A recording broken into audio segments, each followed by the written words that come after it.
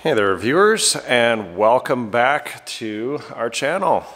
We have our deck lid, trunk lid, depending on whatever you want to call it, that has been removed from the car. Um, I've kind of gone through it, taken a look at it, I have washed it and all of that stuff. Haven't done any wax and grease cleaner or anything like that um, of the sort on it, but I have identified the um, highs and the lows and the creases just to kind of give me a little bit of an idea um, what's going on here. So these are kind of lumpy and wavy uh, when they come from, from the factory. I, they just, they just kind of are. Uh, so we want to get this thing blocked out uh, super nice. So there's going to be a lot of hand blocking on it. Kind of like the hood. Uh, I don't think with the hood that I showed a lot of the blocking. I know I showed a lot of the power sanding. So I thought I would probably cover some of the things that maybe I missed on camera. Um, when we did the hood, which is still sitting here in primer, but whatever. So anyway, uh, let's go ahead and get started. Step one, I'm gonna tap down gently the highs. I'm gonna use the reflectivity, if that's a word, of the existing paint coating um, to kind of help tell me how far and where to tap down the highs. So that's what I'm gonna do first. I'm gonna use kind of a blunt-faced hammer for that. Now you probably can't see that real well, but um, I'm looking at a high about right here.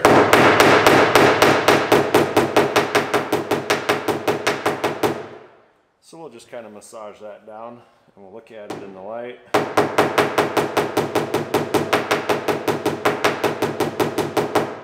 If anything, I would prefer a small dent. Because we're gonna grind most of this paint coating off and that will bring our metal nice and flat. Okay, here's another one. It's a little bit hard to see.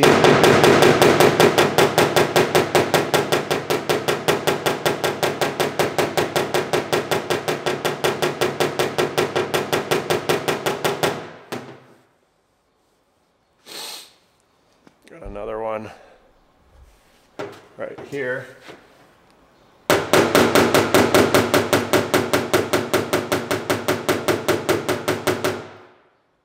It's a little dent now, which I'm quite okay with.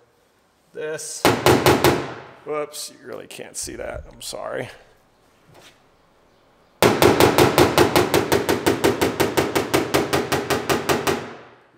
It's kind of a combination high and low. This is a low, we're gonna leave it.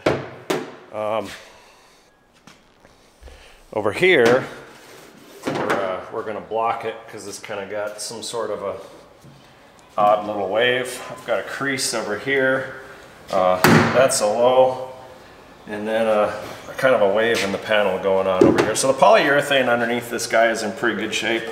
I think I'm gonna start uh, sanding this thing first.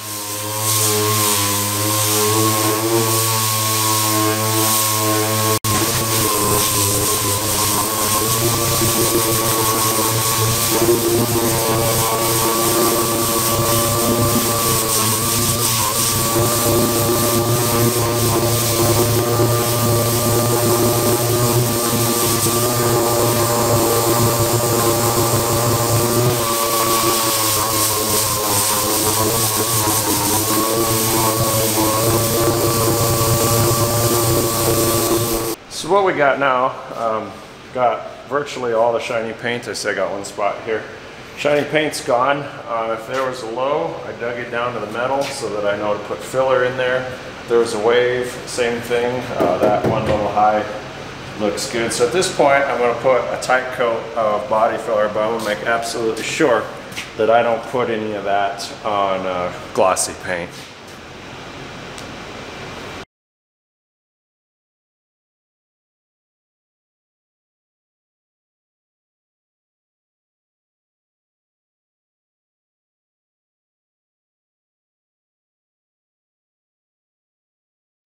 So our Bondo's had a few minutes to set up. I'm just going to buzz the highs off it, and then I'll hand block.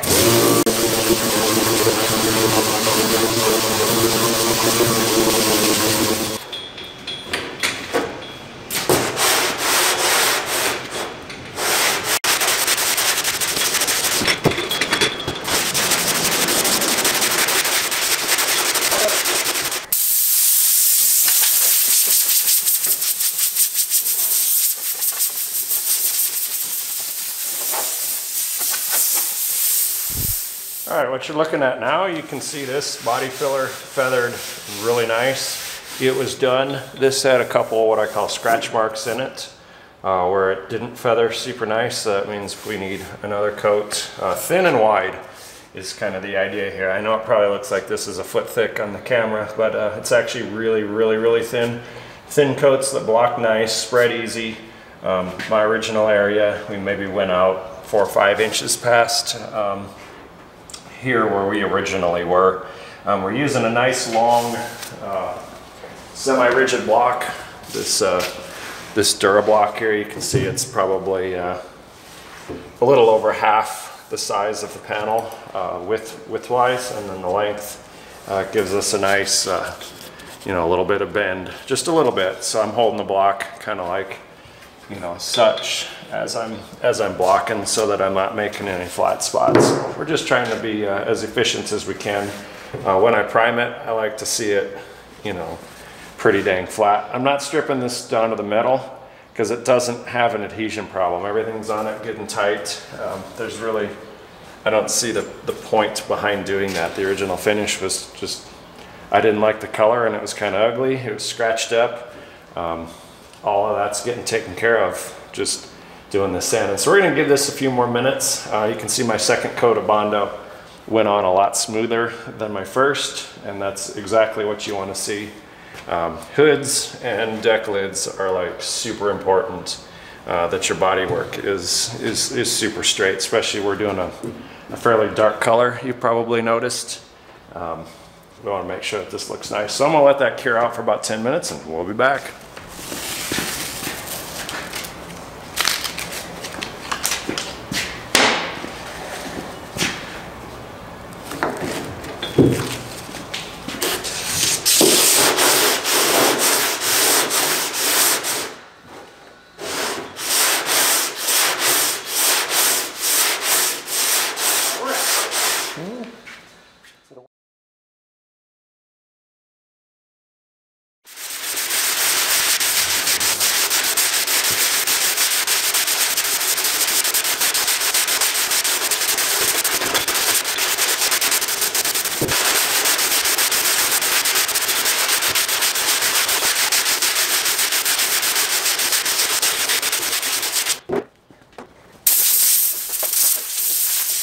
So we got this hood about halfway done, and uh, it is taking a fair amount of filler to get rid of the waves and such. They're not real deep, they're just wide, and we don't want those, so mix me up another batch. Kind of got to do the hood in sections. Uh, if you do want to do an entire panel, there is a product available called Rage Ultra Extra, and um, I think it gives you like 45 minutes to spread your uh, filler out over the panel.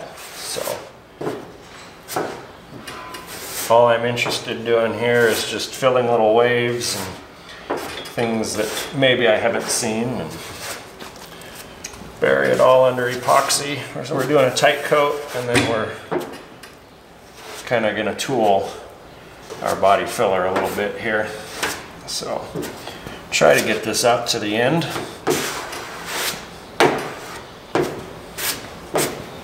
Um, one advantage of doing it this way is my primer is probably about 240, 250 a gallon. Um, and then this body filler is probably about 50 or 60 dollars ish thereabouts for a gallon of it. So it's definitely a little bit of cost savings. Um, harder to block out than the primer. Primer really does a nice job uh, for finish coats. So I'm gonna try to see if we can't maybe save a little bit of primer. We used a lot of primer on the hood. Uh, maybe we can be a little more efficient with our money and use more body filler as the primer's job. Not that we're leaving more Bondo on the panel, but we're just gonna use it to get the panel just absolutely ultra straight. So, see, we got some trash there.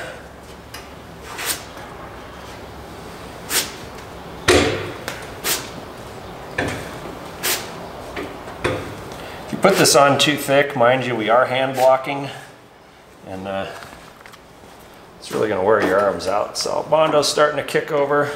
I think I'm gonna have to leave it with where we are. We didn't waste too terribly much, but uh, we'll always go back for a second pass. All right, folks, so here you can see we got a little sloppy up there, but uh, we've covered the whole panel uh, in body filler. I just think it's gonna be less work um, for this. I mean, it's even wavy in the front, so I'm not exactly sure uh, why that is, but um, that's fine. We're gonna fix it. So everything's covered um, fairly good. Uh, we're gonna let this sit about 10 minutes, maybe even a little bit longer, and then we're gonna just DA sand with 80 grit on a medium interface pad um, made by Meguiar's, and that's gonna get these big hard lines out, and then uh, we'll hand block the entire panel. Um, one reason I didn't elect to cover the hood completely in body filler, I mean I kind of ended up doing it anyway, but uh, this has no details that we risk losing, no you know, body waves uh, that you want to keep, uh, details, features, if you will. So um, it's pretty much just one great big flat um, kind of domed shaped piece of metal. So uh, nothing real extravagant as far as that's concerned. Uh, the back side of it is going to be more than likely satin epoxy black. Uh, just like the hood, because uh, I don't really see the need to paint the underside of the trunk lid uh, with the expensive paint. So that's how we're going to elect to save money. Because remember, the customer's always right.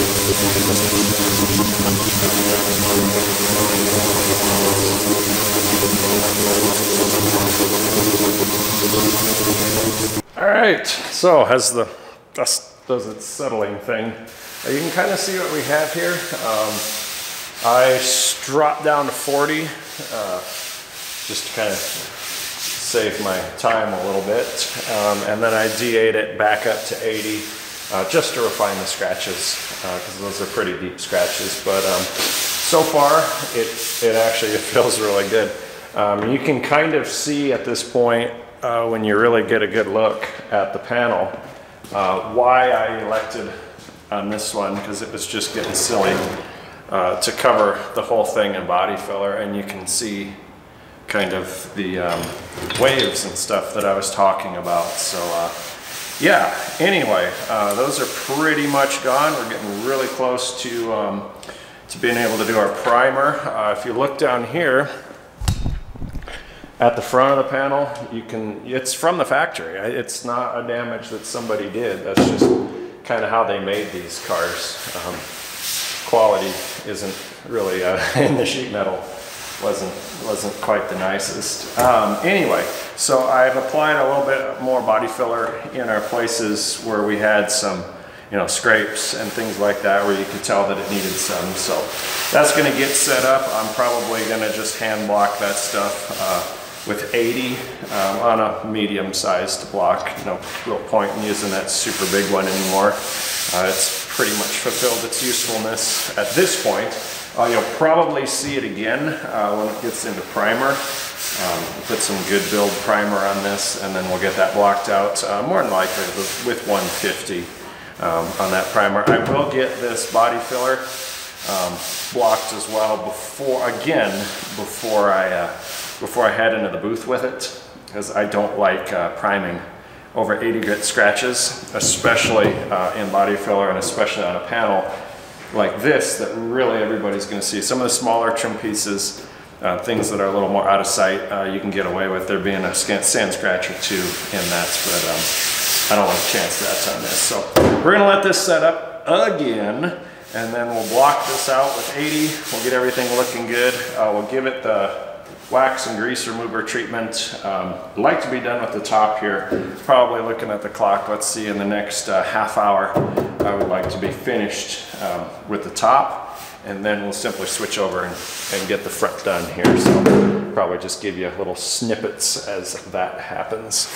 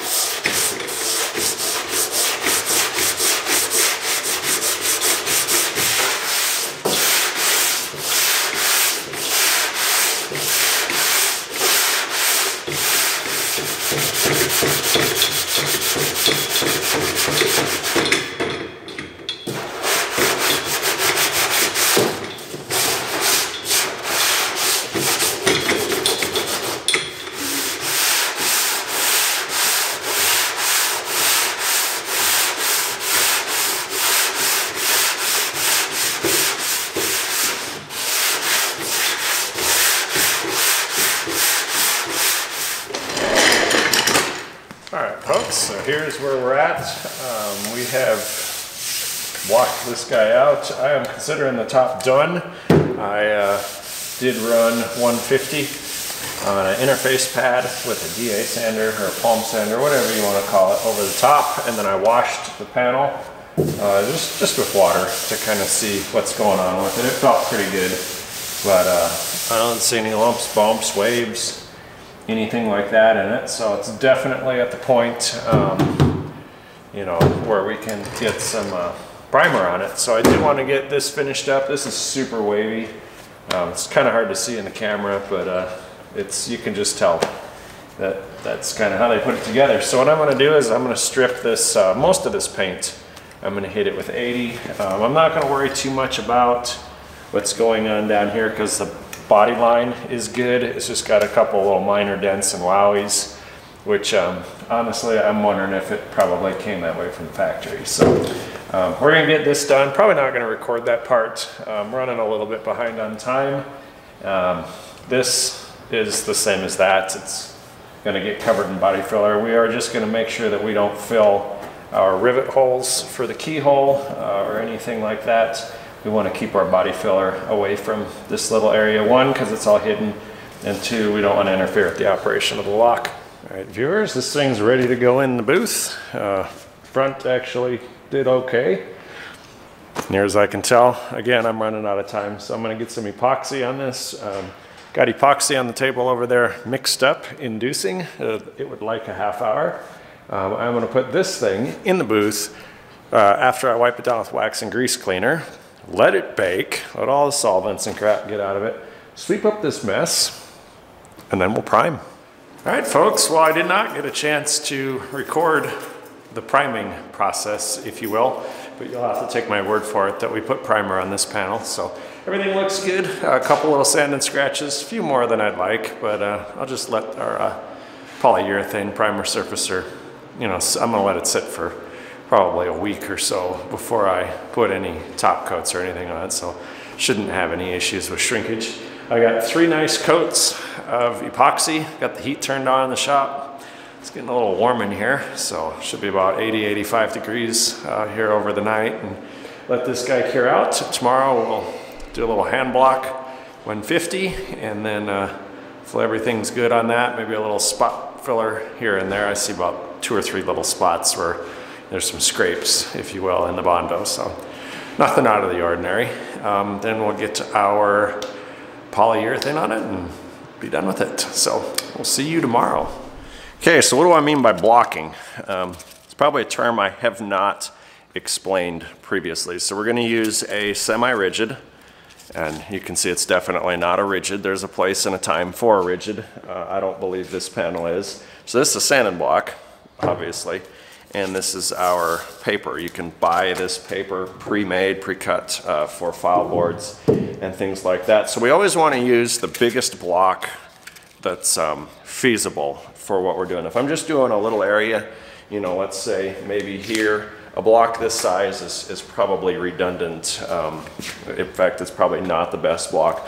But what it's gonna do is when we're sanding the panel, it's gonna even out all the highs and lows in an area this big. So you sand it in multiple directions, in multiple different ways, and you block out the panel. So uh, it's easy to think about um, when you're doing the block out process is a boat in the water.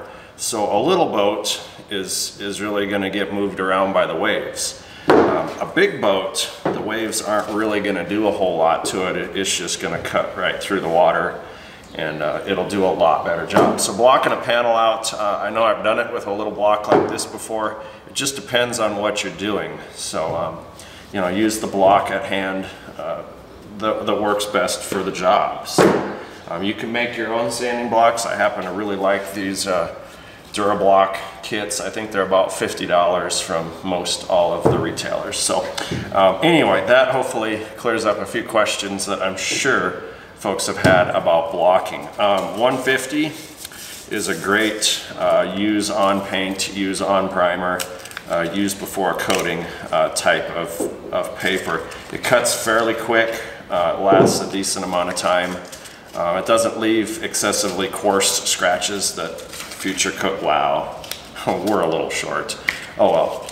That um, it won't leave scratches that uh, future coatings can't fill. Like the scratches you see in here are not 150 scratches. They're probably 80 and a couple of the 40 grit scratches. But um, I want to get these scratches all out so that um, our primer doesn't have to fill them a second time. So just makes for a better quality product.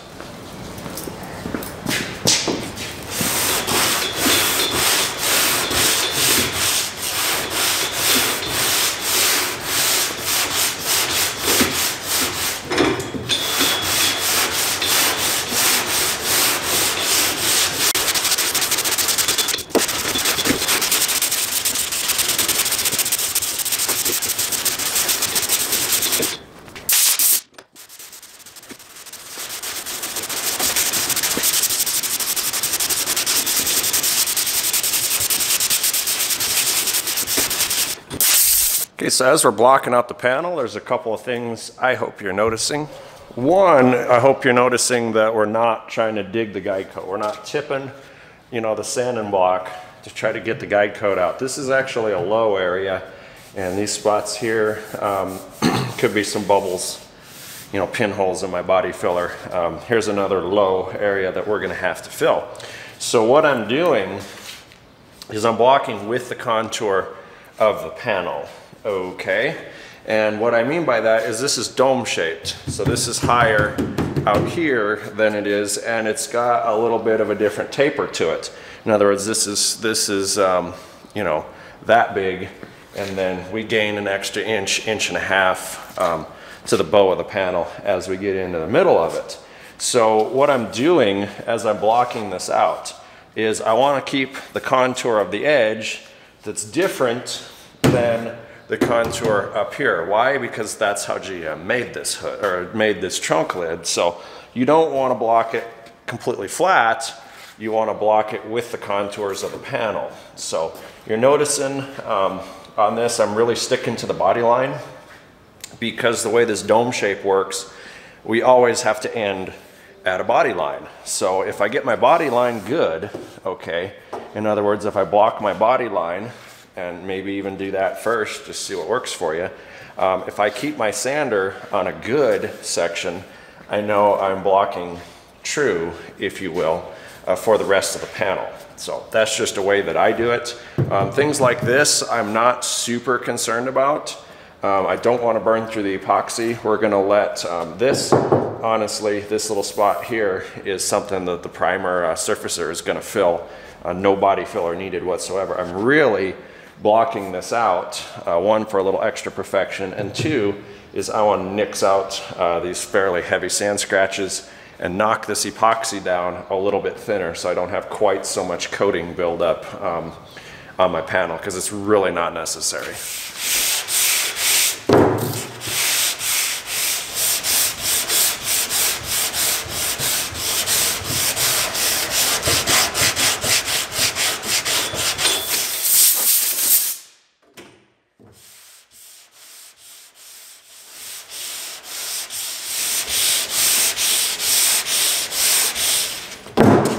All right, we're pretty much done blocking, ready for a primer surfacer on this piece. Um, next question you're gonna have, when do I stop blocking? So you got a couple options. Um, I usually stop blocking when the guide coat is gone out of the area and don't sit and block in one spot for too long. You wanna block as wide of an area as possible to you know, confuse your eyes and make sure that the panel is actually level.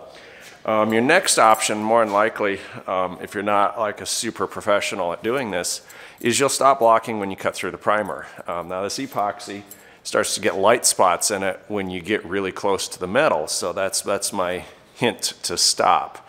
Um, I don't want to sand through the epoxy because it's my corrosion protection on this panel.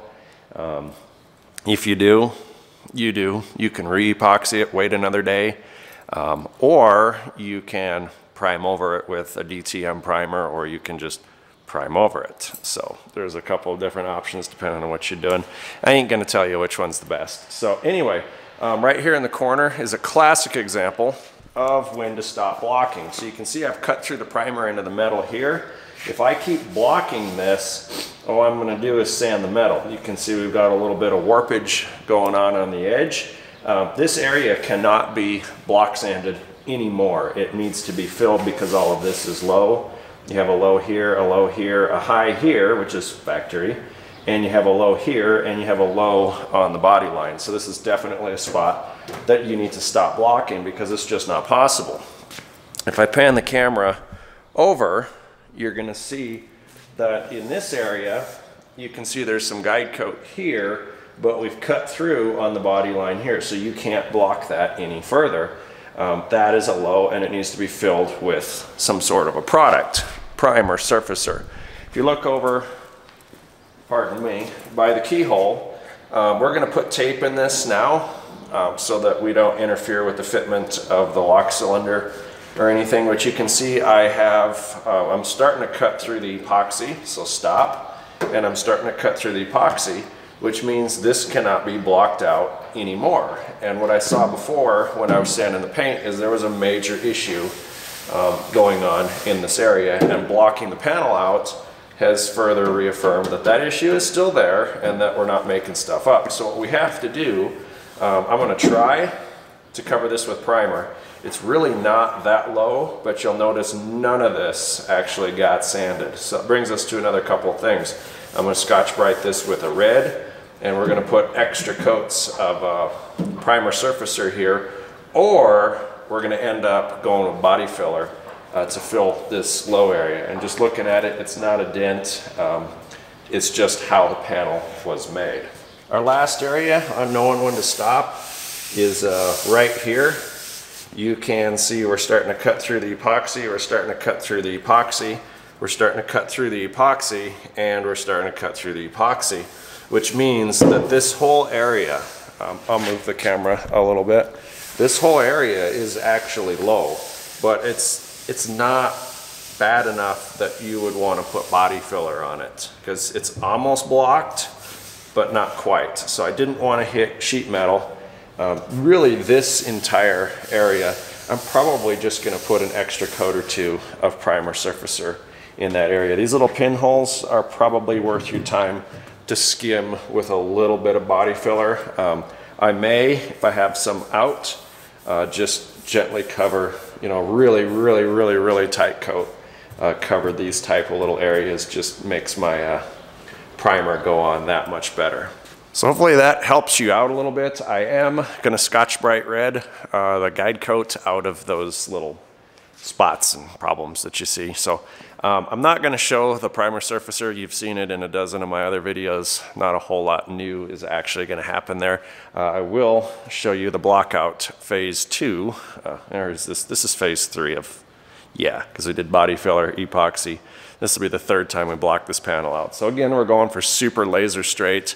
Um, I'm not sure how feasible doing it this way is in a collision type environment where you're really trying to get your repair to match the rest of the car. If you have one absolutely perfect panel and the rest of the car is kind of eh, then your repair is really going to stand out. So um, in this case, we're redoing the whole car. So yeah, into the booth we go.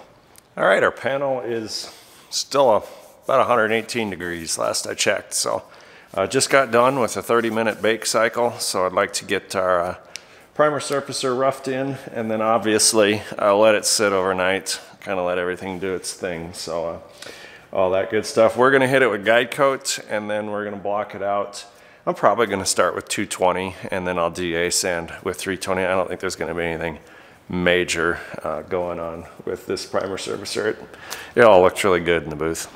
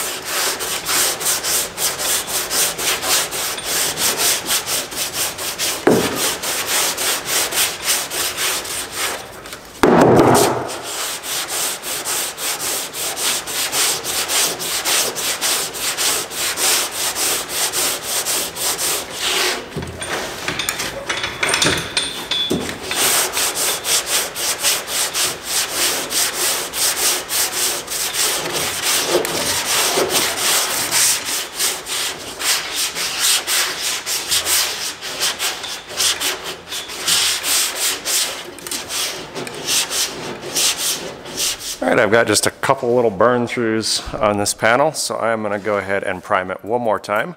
Um, it is down to the epoxy in most of those burn through places, but I found that if the primer's not perfectly gray under this blue, it doesn't hide and it shows up. So yeah, in the interest of not getting burned by that again, things you learn.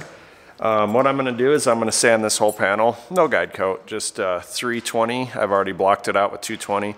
I'm gonna hit it 320 on the DA sander, pull it in the booth, prime it again. Everything blocked out uh, really well on it. I'm very happy. Um, definitely like the blue sandpaper a little better than the gold. It seemed to last longer. So anyway, um, next time you see this, it's gonna have another coat of primer on it. Probably let it sit for a half hour um, in the booth after spraying that primer.